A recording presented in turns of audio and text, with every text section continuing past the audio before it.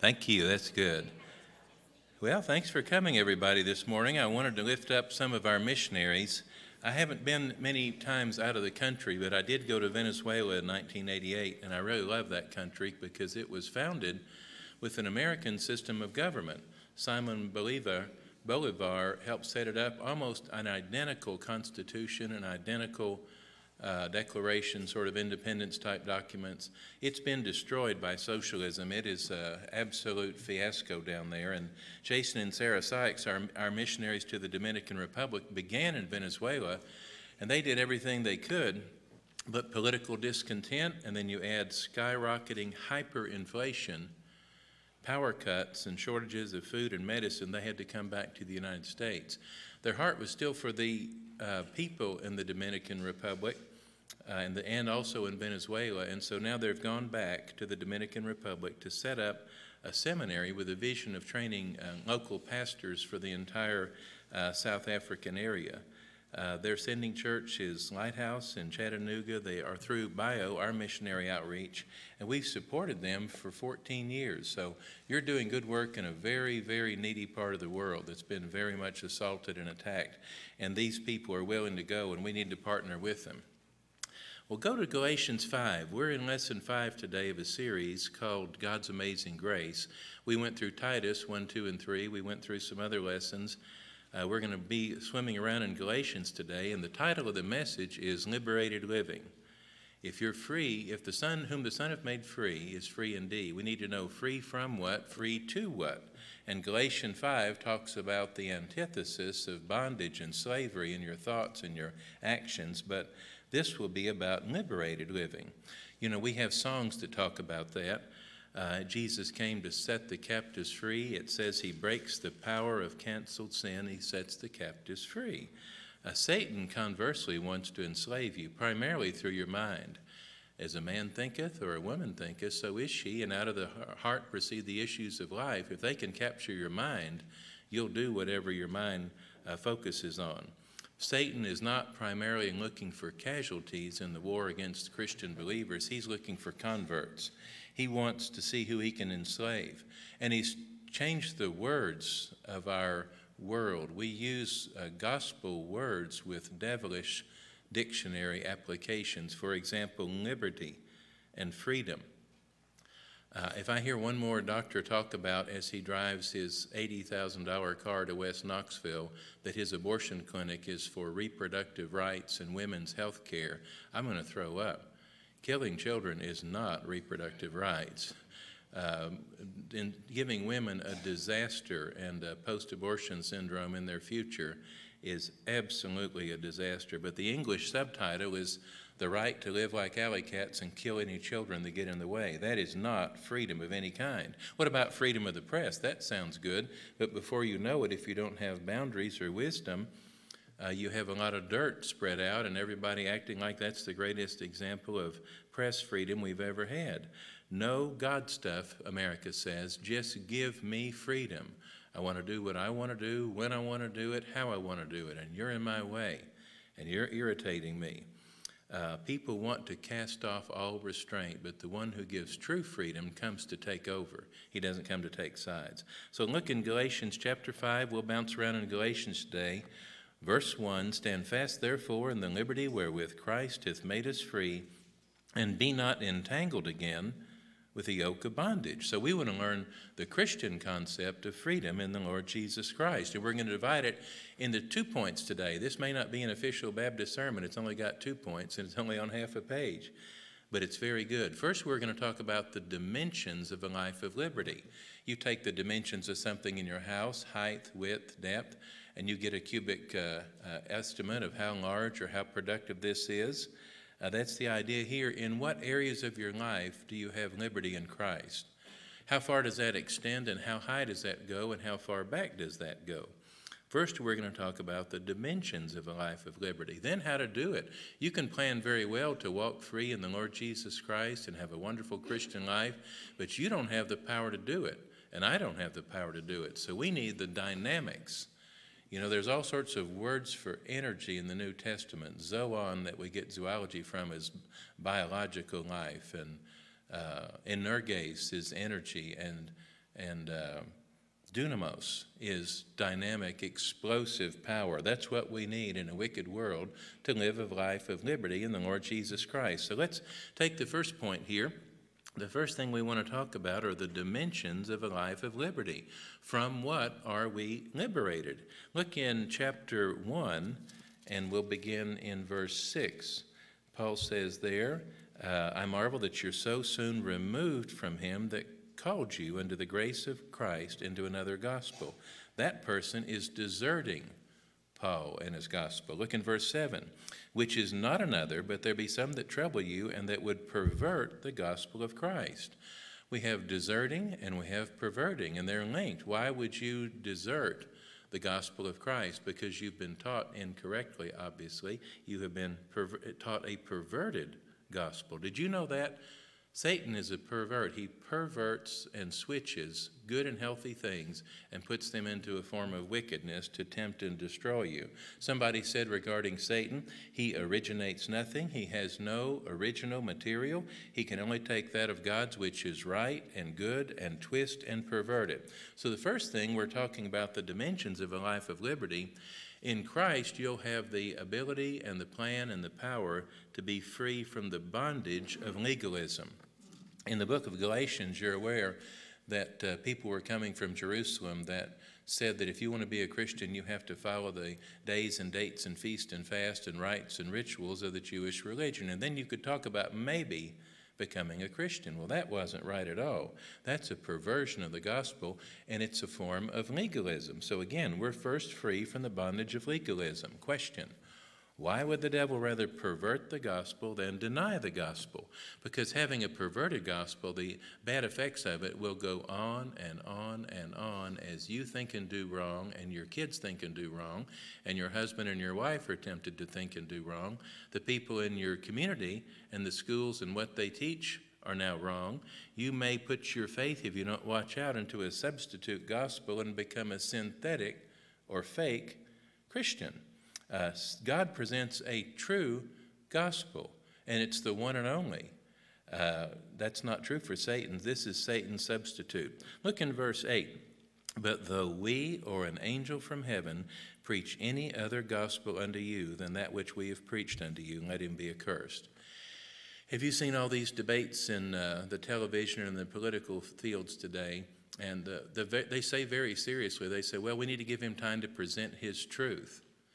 That doesn't make any sense. Truth, by definition, is exclusive. It is univer- It is only. Uh, a good preacher said once, if it's new, it's not true, because one of the marks of a true position is it doesn't change. C.S. Lewis said, All that is not eternal is eternally out of date. So something that morphs and changes and goes from one to another is not true. And as a matter of fact, here in Galatians 1 8, Paul says that that person is not a clever friend He's not someone that we want to necessarily primarily dialogue with. Don't get mad at your enemies. They're not, they're just believing the wrong thing.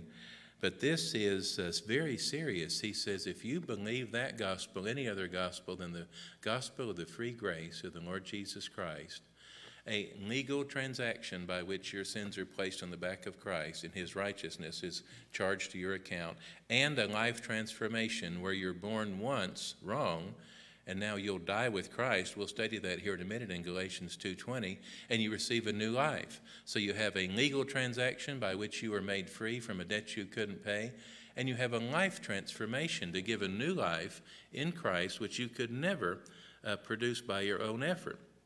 This is pretty strong. He says anathema, damned, cursed he says this is not mere preference, this is the message of God from heaven, and for you to tamper with it is absolutely totally wrong.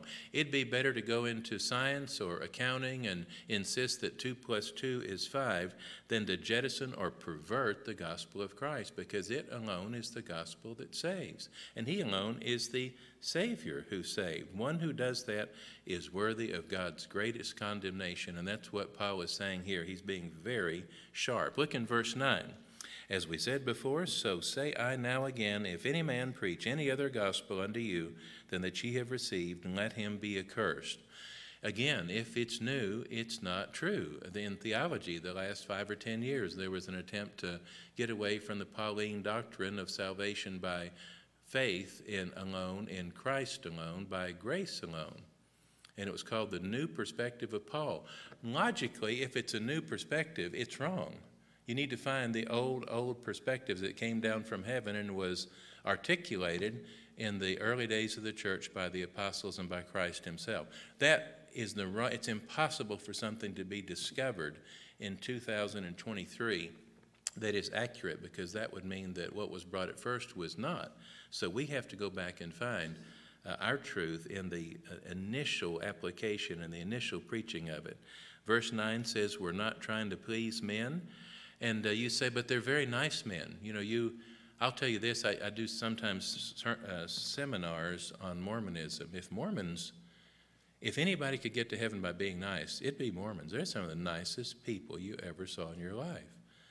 I grew up in Missouri, which was RLDS, uh, Reformed, I think, LDS.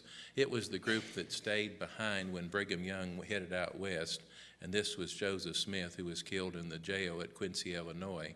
And, and you, you want to talk about the nicest people in my high school class were John Hanks and his brothers.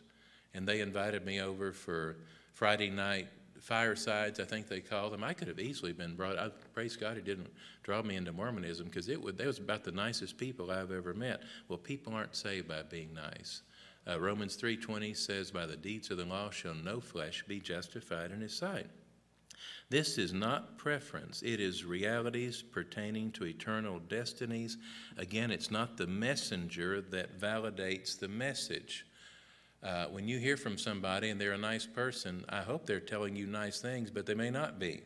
If you've been to talk to somebody and they've been to a good school, I'm glad they have. Education is certainly a good thing, but it's not determinative in the area of salvation. And you say, well, we've known you a while. You haven't robbed too many banks or kicked too many cats or fussed at your children too much. Well, that's very good but that still doesn't validate the message. The speaker doesn't validate the message today. Uh, if you watch certain channels on TV, they tell you that angels appear in full glory at the Motel 6 or the La Quinta Inn and wherever they're staying and say, Behold, I have a new message. Well, then it's wrong. It's absolutely guaranteed to be wrong. A industrial strength real angel could come into your uh, house and say with a voice of thunder, Blessing, Son of Man, I have been dispatched from heaven with a new message and a new gospel. Listen to me all. You could say, It's wrong. I don't even have to listen to it. You're absolutely wrong if it doesn't square with God's word. Paul says very straightforward, verse 8, that person should be accursed. Now, you and I would be hesitant to say that, but Paul says that. Look in verse 10 For do I now persuade men or God? Or do I seek to please men? For if I yet please men, I should not be the servant of Christ. You have a choice to make a message from heaven to earth by God to men and women, or something that's been whipped up in a good American fashion or adjusted. And uh, I remember when we studied the uh, Jehovah's Witnesses, we went to New York one time and saw that Watchtower Bible and Tract Society building on the other side of the Brooklyn Bridge. It looked very impressive. It looked like a military fort.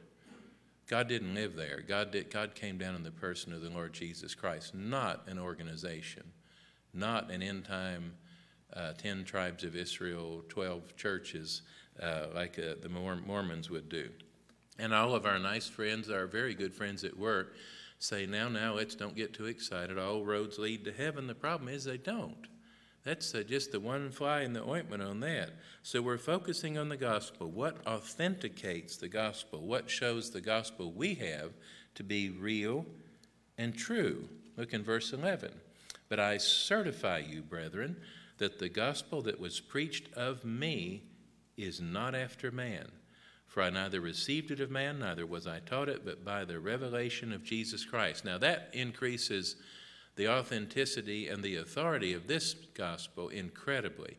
First off, Paul is either crazy or he's right. There's no room in between when he says, This one wasn't preached after man. This isn't a human gospel. Step aside, boys. This is not your gospel that you're making up. I didn't receive it from men, I didn't uh, taught it from men by implication, but the, by the revelation of Jesus Christ, by the apocalypse, the unveiling of Jesus Christ. That's pretty strong. That is a very strong Galatians 1 11 and 12. So here's the source test. Question Where did you get your gospel? Uh, when you take, uh, and don't do this unless you're trained because it's very easy to get tangled up. If you take your Bible in one hand and your Book of Mormon or your Doctrine and Covenants or Pearl of Great Price in the other hand, and you show there's a difference, they say, well, yes, there's a difference because we, we're new and improved. Well, where did the first one come from, and why is it uh, in need of correction? Uh, the gospel here is not the invention of man, according to Paul, not something Paul thought up, but something God sent down, a God given gospel, not man's invention, but God's revelation, divine and direct. Remember, we're talking about the dimensions of the life of liberty and that we're free from the bondage of legalism, that a gospel of grace has come down from heaven. We should believe it, number one, because it passes the source test. It's a heavenly gospel. Number two, it passes the salvation test.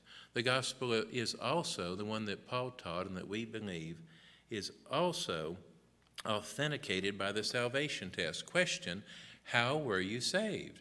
You can ask people here in good old East Tennessee, How were you saved? And I have known some of these people for 30 or 40 years and, and treated them and, and been with them in the hospital and thought I knew them. Their eyes will start looking around and they say, Well, I'm living awful close. And I go, Oh, no, I hope you're really just confused today. But if you're going to tell me that you and I have shuffled around a little town in East Tennessee and just lived the perfect life from heaven, and we deserve to go to heaven. That is pathetic.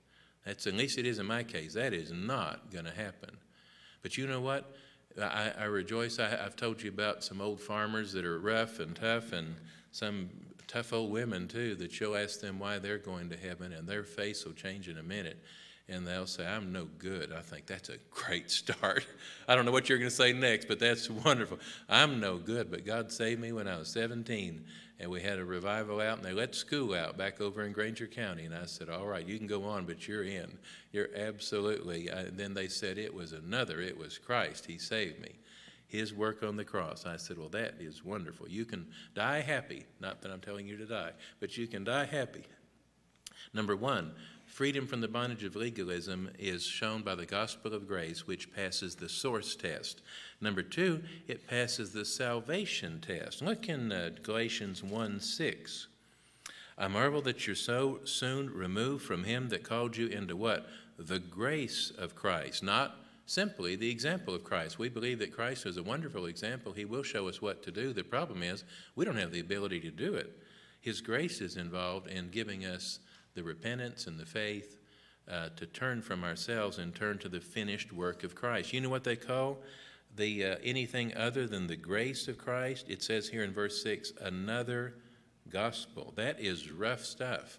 Do you see any gospel that is not the gospel of grace, salvation by God's good pleasure extended through a faith given to us that we can trust the Lord Jesus Christ and make that great transaction, that great substitute?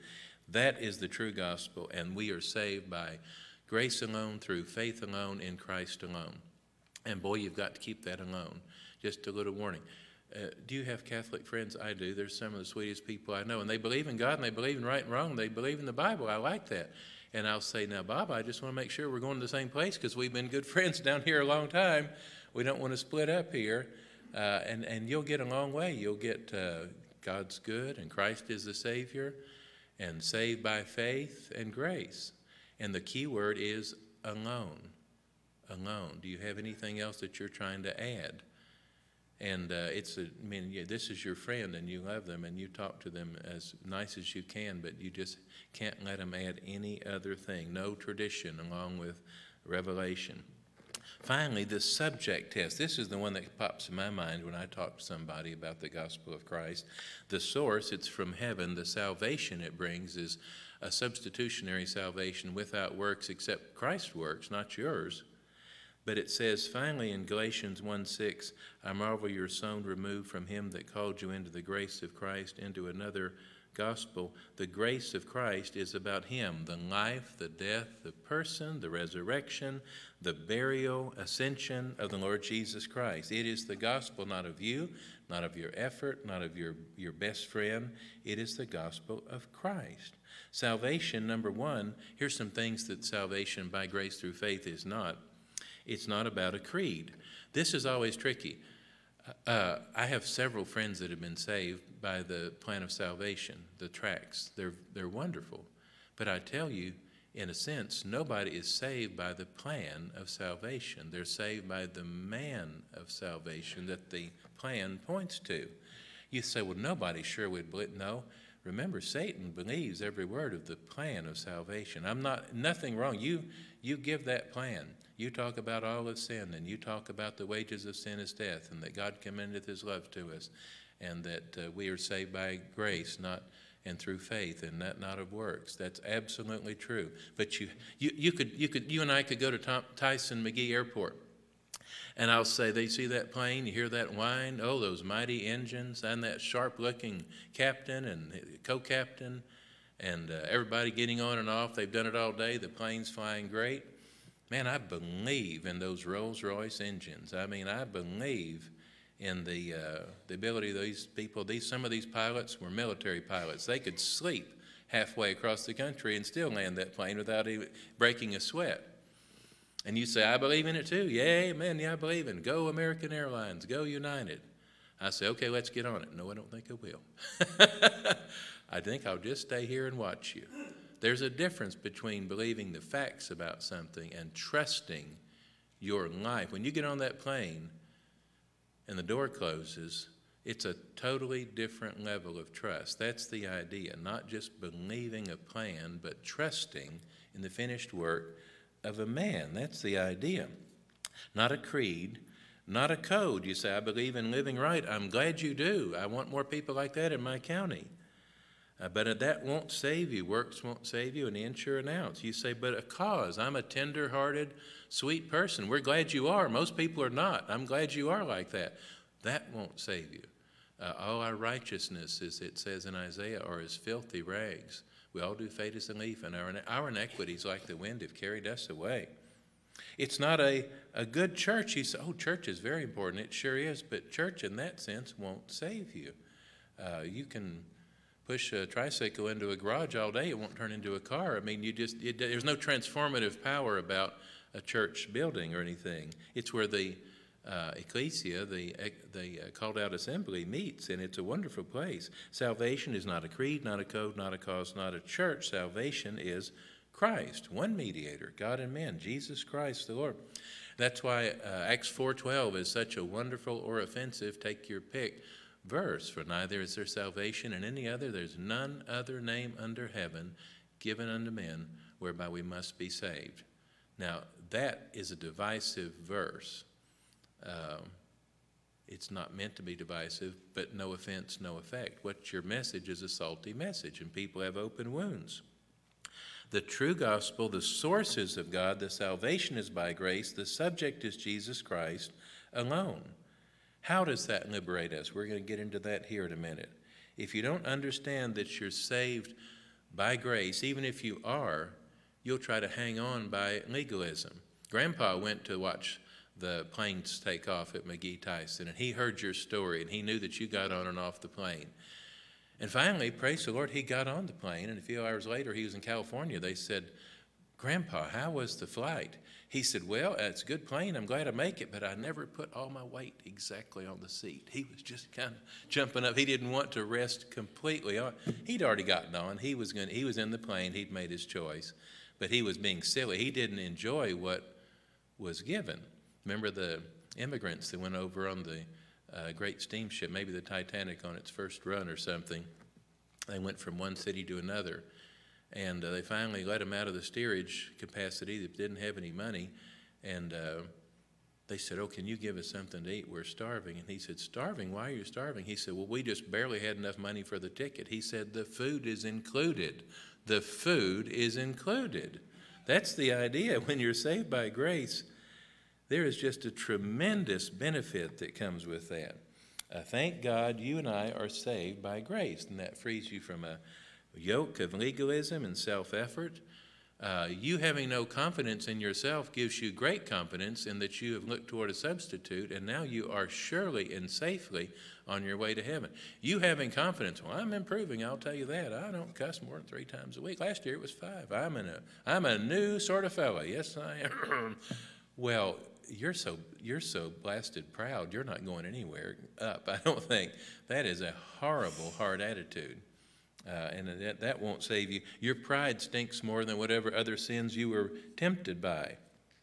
You can be confident and you can be a good testimony to the salvation by grace through the lord jesus christ when you don't trust in yourself when you trust completely in the finished work of Christ. And that kind of person can be an exclamation point Christian instead of a question mark Christian. No, I love you if, because, or when. God's love is unconditional from man's point of view. It is.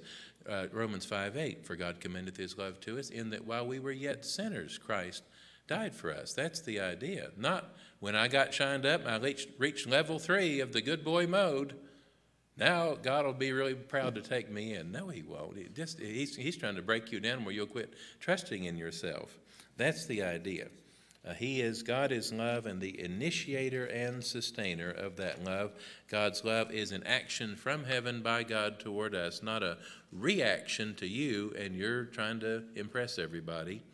Not based on what we are or what we've done, but who He is and what He has done for us. That's the idea. We don't put ourselves in a position so that God feels like He has to love you. He loves you at first, kind of like you love your little boy when he's rolled in the mud. You, you have to hold your nose, but you do love him, and then you'll clean him up. The grace of God will change and liberate you. Remember where we are. This is a big porch, there's a small house behind it. I will make it by the end of the lesson here the dimensions of a life of liberty. First is you are free from the bondage of legalism. I didn't come from a legalistic background, I came from a completely secular background. We all thought we were pretty good. We didn't like following rules any more than anybody else. We just thought we were okay. You may have come from a very legalistic background where you had to initiate, obtain, and hold on to your salvation by your effort. And the best thing you can do is to learn that that's impossible, and I'm sure you have by now. Number one, freedom from the bondage of legalism. Number two, this is more on a personal day to day level, free from the bondage of criticism. Look in Galatians 2 and verse 4. And that because of false brethren's unaware brought in, who came in privily to spy out our liberty which we have in Christ Jesus, that they might bring us into bondage to whom we gave place by subjection, no, not for an hour, that the truth of the gospel might continue with you. Somebody comes in and either thinks you're initially saved by your works. Remember the silly story we told about going across the stream with the boat and the two oars. One's your God's grace, and the second is your effort. That's not true. These people are uh, Judaizers that have come from Jerusalem to try to press you back into the mold of the Old Testament and the law of Moses, which no man could bear, they wanted to load on your back again. Jesus Christ alone having followed that law of Moses. What's this? This is big shots from the denominational headquarters.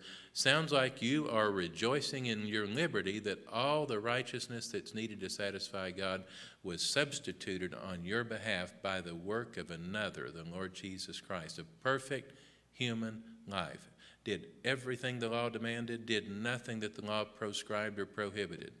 Absolutely, when you get to, in your filthy state, to the edge of heaven, and they say, Why should we let you in? You say, I'm with him. I'm with him. That's what that he has offered that his cleanliness and his holiness will substitute for mine. You could call them grace busters. They're going to go, Whoa, you quit having so much fun. Calm down, get grim again, because you have to earn this. And you'll go, I don't think so. I failed that a long time ago. That's off the table. I will live. Uh, I will live for Christ now, but that's different. I cannot work my soul to save. That work my Lord has done, but I shall work like any slave for the love of God's dear Son. That's the idea. That's the idea. The law, it says in John 1, you remember, came by Moses, but grace and truth came by the Lord Jesus Christ. That's the idea. The law, and we studied this, is not an instrument of salvation. Let me give you an example from my world. A stethoscope will not cure your pneumonia, it is to diagnose the pneumonia. I can't listen and go, Shazam! And then you're better. I wish I could, but you can't. That, diagnostic tools are not for curing you. Okay, that's, what does the Bible say about the law? Number one, the law is a mirror to show us our wickedness. It holds us up, and before you go out of the house, you go, Well, good heavens, I didn't realize in such bad shape here. I better go back and try to clean up. And you'll realize pretty soon you can't do it. The law is a mirror to show us our wickedness, and then it is a schoolmaster to bring us to Christ. So it is it doesn't save by itself, but it will it will show you what's wrong with you, and it will lead you out and away by repentance and then faith toward the Lord Jesus Christ to an opportunity to have a new life. But it doesn't by itself save you. The law was never intended to save you, but to show us what we needed to be saved. The Mormons go to our the temples, the great temples that they're building. The first one was in Salt Lake City there, and they're beautiful temples. They go through secret ceremonies and rituals, and they learn about 400 new rules. Boy, I'd want my money back. I'm just telling you, if I went through all this and went to temple recommend uh, classes at the local stake, um, and again, you never met any nicer people than Mormons. They just need the finished work and the righteousness of Christ.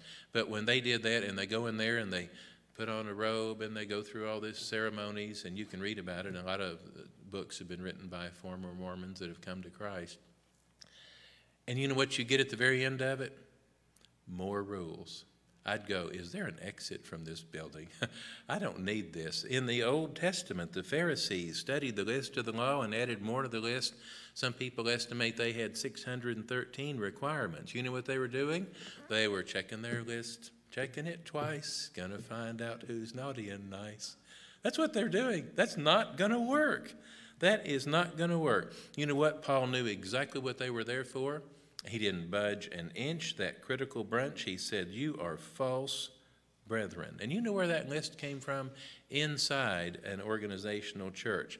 A lot of times today, churches that are pretty normal will go off into some legalistic direction because everybody's gone to some seminar by some high powered person and gotten wound up really tight in bad doctrine, in salvation or sanctification by your own effort. Now, you have to make decisions and try. We're not robots, but still, this is not something you initiate. They are wound up now, super tight, ready and willing to wind you up too. I mean, they're going to, this is the way we're going to live. They're not talking about God's commandments that Christ will live through you and you'll be able to fulfill some of the law much better than you did before, uh, realizing it's not about you, it's about Him. No, these people, either at the beginning or in the middle or the end, are going to major on minors. They're going to externalize all their preferences. They're going to talk about how to tie your shoes and comb your hair. And just, just this is just really ridiculous. You wait for everybody to laugh, and they're not. They, they've got them in the deer in the headlights. That's, that's terrible. They're going to put us in their little box and criticizing anybody who walks in the finished work of the Lord Jesus Christ with an established salvation and uh, a wonderful new life in Christ, it's not about you. Uh, Paul took no prisoners. He chewed out Peter because Peter didn't uh, back these Pharisees down. We don't want to wound, this is a good point Dr. Rogers made in this lesson. We don't want to wound a weaker brother's conscience. We studied that. But he said, mark this, there are a lot of professional weaker brothers. That's all they want to do is get, add these list makers and lawmakers, not the commandments of God, the righteous commandments of God, but human lists, little laws, measurements, uh, starting a sin seeker committee and watching you real close because you've got a funny look on your face, buddy. You say, Oh, how can I get out of here? Uh, don't you ever let these people put you under bondage. Here's a good thing if you get tangled up in legalism. First, uh, pick up legs, hit that door, let's get out of here. It's their problem. Don't let people make their problem become your problem. Uh, we had a cat next door. My dad came to visit us one time, and the little four-year-old boy and our neighbor picked up that cat and threw it about six feet in the air right into my dad's lap. And that cat went berserk, about tore his, his arms and his legs off.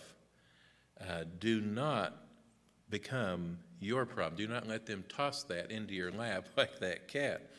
People that are super legalistic and misunderstand, I hope they're saved. They may just be confused. Let's be charitable but they may think they're finishing off what Christ has done, which is insulting. But do not let them uh, make you sick in the idea that you'll help them become well. You stand fast in the liberty wherewith Christ hath made us free. Finally, again, this is the first point, and it's very long, but we're almost still about 10 or 15 minutes here. The dimensions of a life of liberty number one, freedom from the bondage of legalism. Number two, freedom from the bondage of criticism if we had some people that came from another group that we were in, some sort of Baptist group, and they drove up here with stern looks on their face and Windsor knots in their ties, and they're done, dun, dun, like Joe Friday almost from Dragnet. They're going to come up here and stop any kind of joy or any kind of fun that's going on. And here they come in the driveway, and we're all trying to straighten up and everything. But now in Christ, we're free from legalism. We know the rule of the law and what it's for and what it's not for. We are now free from unwanted criticism in the sense that we're not trying to keep or earn our salvation. The last point on this first section about the dimensions of the life of liberty is the life of liberty in letting Christ save you with his righteousness and his work on the cross, is that you're also free from the bondage of fatalism. Now, this is interesting um, in Galatians 4 3, he was talking to some people, some pagan people in Bible days that were under the oppression of uh, actually astrology, I'm going to show you, and some other things that they thought were controlling their life. Our missionaries talk to us all the time. This letter today from the Sykes about Dominican Republic they're discipling a teenage girl. The teenage girl told them the last time she went home from their discipling class, her mother was doing a voodoo procedure to try to affect their house. And you think, oh, that's silly. It is not, it is deadly serious. Uh, this is what they did. Look in Galatians 4 3. Even so, we, when we were children, were in bondage under the elements of the world. Now, that to us sounds uh, kind of spiritual, you know, the things the world believes in. But what he was talking about was the elemental forces of nature the stars, the planets, the world of nature. Uh, these things, instead of Christ or the God the Father being in charge of our destiny or our eternity, they believed in uh, the, the, the, things of, of the world stars, planets, nature, astrology, zodiac stars, planet. I couldn't help it, the stars are against me. How pathetic, how ridiculous, unless you were brought up in that and you would be fighting that the rest of your life because that's what your mother believed and that's what your sister believed. That's the idea. Look in Galatians 4 uh, 9 through 11. Let me find that here. Chapter 4, verse 9. But now, after that you've known God, or rather are known of God, I like that. We didn't initiate anything. God found us, and we have to trust Him and everything, but that's true. But now, after that you you have known God, or rather are known of God, how turn ye again to the weak and beggarly elements wherein ye desire again to be in bondage? Ye observe days and months and times and years. I'm afraid of you, lest I have bestowed upon you labor in vain. These people were tangled up in astrology, in prophecies, in Madame Zonga for $10 will tell you where you left your car keys. I mean, that's exactly what we have here. You remember the one over by the airport, Madame Rose, $10, 30 minutes. Uh, honk three times in the driveway so I know you're there. Well, if, you, if you're so good, how come you don't know I'm here already? If you're this uh, tarot card reader and all these, and, and, we, we laugh, and it's probably a good thing to, to laugh at them. They don't deserve to be taken seriously, but there are people that grew up in that that it's very serious, or young people that have never heard of that. You keep your kids. Remember how Mark just chewed out the the uh, games with wizards and things like that a few weeks ago? That was he's exactly right, absolutely right. I am, Paul would say, and he wants you to say, not a victim of fate. I am what I am by the grace of God. You let me handle it, and I would have gotten into worse trouble than this. God just stepped in and said, Step aside, boys, I've got this one. Well, that, that clears the house. I mean, everybody is running. God's taken over. So you let God, you know, when, the, when Satan knocks on the door, let God answer it. You've heard that before. That's, that is not a very deep theology, but it's good, good theology. That's wonderful. Guess what? Under legalism, you are a slave to yourself. Under criticism, you are a slave to others. Under fatalism, you are a slave to circumstances. This is bad. You need to be free of all these things. Guess what? In Christ, you're free from all. This is whom the Son hath made free, is free indeed. There's other ones, but this is a great chapter, especially if you grew up in a very legalistic background or you're being tempted by your very stern neighbor, you know, talking to you over the fence. Oh, you can go down to that Baptist church all you want, but the right and true rules of God are here at the Alpha and Omega end time obey the rules church. That's where you need to go. And I think, I don't think I do. that doesn't sound like that much fun to me. God's grace is wonderful. Those are the dimensions of God's grace that handles these problems. Well, the last section is much shorter. We study the dimensions of a life of liberty. Number one, it will help you handle legalism. It obliterates the power of legalism to suggest that it could save you because it can't. Number two, it gives you freedom from the bondage of criticism. As long as you're trusting Christ, you can safely just look away from a lot of these uh, grace busters. And number three, it, it gives you freedom from the bondage of fatalism, that you are not, this is especially important to our missionaries that are in parts of the world where they are th- they do think they're controlled by the moon, the stars, the planets, the seasons, the tides, the, the rites, the rituals, everything. Now, now we know the dimensions, but what are the dynamics? What is the energy that gives you the ability to have victory in your life over criticism, over fatalism, and over legalism? Well, it is the finished work of Jesus Christ at the cross. I'm going to show you all of this is obliterated, remade, and straightened out by the cross of the Lord Jesus Christ. This is a memory verse. There's a danger to memory verses. I like memory verses, but if you but you you get into a rhythm on memory verses, and sometimes you don't hear what you're saying after a few years. I'm not discouraging you from memory verses, but sometimes you have to slow down and say, what, what is the context of this? What are they saying exactly?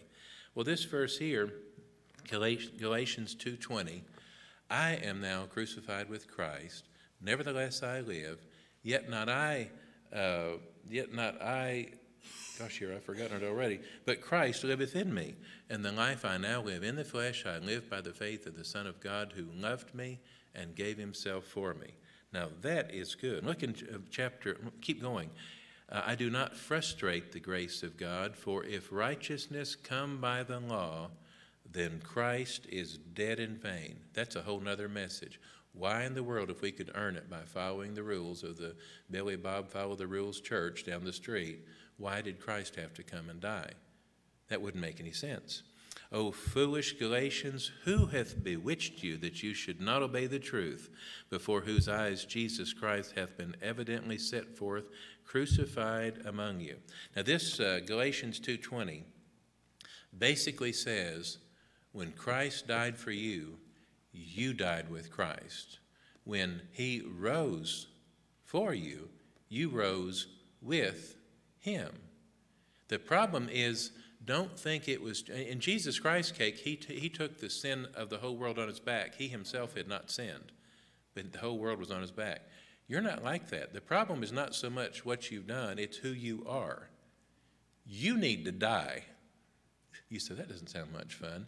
That's exactly what Christ and God the Father did on the cross is not only when Christ died for you, you died with him. You can read about that in Romans uh, 4, 5, and 6. That's good. What is the answer? How does God set us free? The cross is our statue of liberty.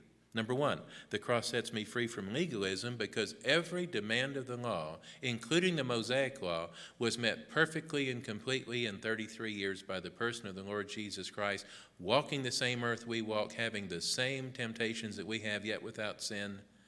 He, he fulfilled every single one of those. When Satan comes up at the end time and says, You're a lawbreaker, Christ will say, Not anymore. Sit down. He'll, he'll go right back down. Free from the law because the law, both uh, positive and negative, was fulfilled in Christ. That's a happy condition. Number two, the cross frees me from criticism. And I think Mark talked about this the other day too. You can criticize me, but the joke's on you. I've done a lot worse things, at least in my mind, than you've brought up right there. Half of those things may be true, or 80% of them may be true, but, but you don't have any idea. I'm a lot worse than that. My little sneakiness and my little legality and little mind worrying around trying to think how I'll come out on top. I know, my flesh real well. You may be a boulder, you may be out, in big fights and kicking around. I, I'm just, I can just see like Gollum, sort of, just a sneaky little person. that's, that's not good. Uh, you can criticize me, I usually deserve it, but after this it still stands. God commendeth his love toward me, and while we were yet sinners, Christ died for us. Romans 5 8. What do you think about that? In the balance of that, in, in, in, in, the, in the balance of that, your criticism of me, even if it's true, it doesn't shake my world. God's already shook it a lot worse than that, a lot worse. Number three, the cross sets me free from fatalism. You say, Oh, I, my, my destiny is determined by the shaking of the chicken bones, and the, and the howl of the wolf, and the phase of the sun, and the, the, some of those drugs they take from those plants out in the woods or have peyote or anything in it. It's kind of like LSD, or the crazy drugs I take. You say destiny, that's a pathetic destiny. I'll tell you about my destiny. I was on the heart and mind of Almighty God before this world and all you're talking about was ever created. I'm going to trump you by seniority. Sit down. You're not talking about anything. That sure beats the fire out of some planetary alignment theory or the horoscope page in the newspaper. How does this work? Will you read Galatians 2:20? I hear the bell ringing, so I'll bring it to a close. Number 1, when you read Galatians 2:20, it's an executed life. You're dead as a doornail. And if you live the life I now live, I live by the faith of the Son of God who loved me and gave himself for me. It's also an exchanged life. Nevertheless, I live, yet not I, but Christ liveth in me. You exchange your worthless life for his wonderful life as far as it can go on a, on a fallen earth like this. And number three, it's an energized life. He gave himself for us so that he might give himself to us. Now we can have power for living. Exchange, not spiritual push ups, although do your best, and not positive thinking, although I like positive thinking compared to negative, I guess, but that's nothing to do with salvation. The life of God now beats within the soul of man, the life I now live, the life of, of the Son of God. His life is in me. So there's freedom and liberty and the grace of God that sets you free. That's what Christian liberty means. And Christian liberty doesn't mean you can get away with uh, sin as far as you can go, nobody will care. It means that you now have the power to live for Christ. You've got a chance to actually live right. That's Christian liberty. Well, we've got some more lessons coming pretty soon, but this has been a good series. Lord, thank you for today and for your grace and for the practical ways it affects our life, and help that it did it today as we heard these truths. Amen.